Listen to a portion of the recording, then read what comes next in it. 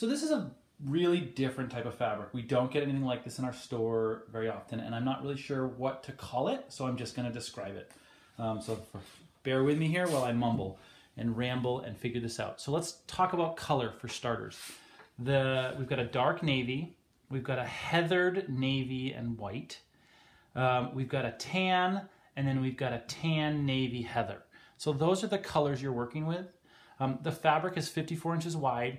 Each check is three inches across and two and a half inches down, so they're not square.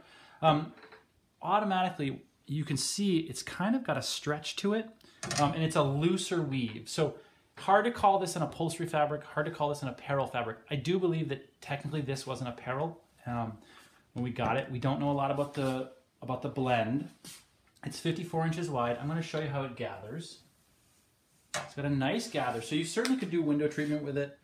Um, if you, if I was going to use this for upholstery, I would certainly put a liner on it on the back. Um, it's just not quite heavy enough for um, heavy use upholstery. So we have it in swatches, we have it in cut yardage. Anything over three yards is discounted, and it is a closeout. So whatever you see for yardage is all we've got, and we can't get more. Um, and because this is such a unique fabric, I would say start with a swatch so that you know that you're getting something that's going to work for your project.